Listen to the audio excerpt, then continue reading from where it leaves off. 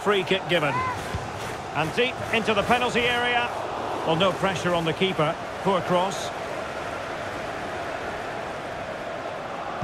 Well, not many would debate the point that Erling Haaland is a joy to watch whenever he's out there on the pitch. But what should we expect from him today, Stuart? Oh, Derek, big moment here. Still possibilities.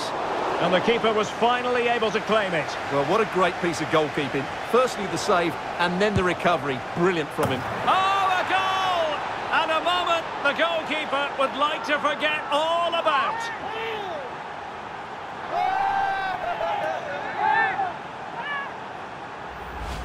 Well, here's the replay, and as you can see, he doesn't read the danger at all, does he? It's a poor piece of goalkeeping.